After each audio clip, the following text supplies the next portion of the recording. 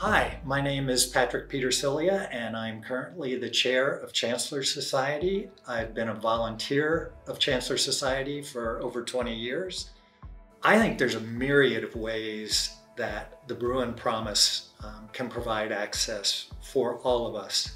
All you have to do is click on the website. There are almost 100 different alumni networks. I think anyone who's interested at all in accessing UCLA has the infrastructure in place and uh, to find one, two, or three organizations where you can receive what you feel like you need from UCLA and also give back.